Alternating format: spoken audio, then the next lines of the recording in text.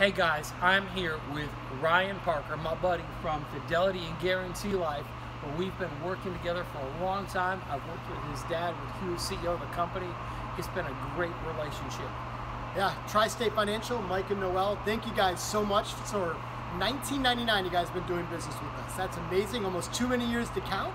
Um, hopefully you've seen all the great things going on with the Alliance, all the great things going on with Fidelity and Guaranty Life. I think we are positioned for another 20-year run. That's right. Hey, looking forward to doing more with you guys and just excited about what we've done so far. Thank you. Thank you.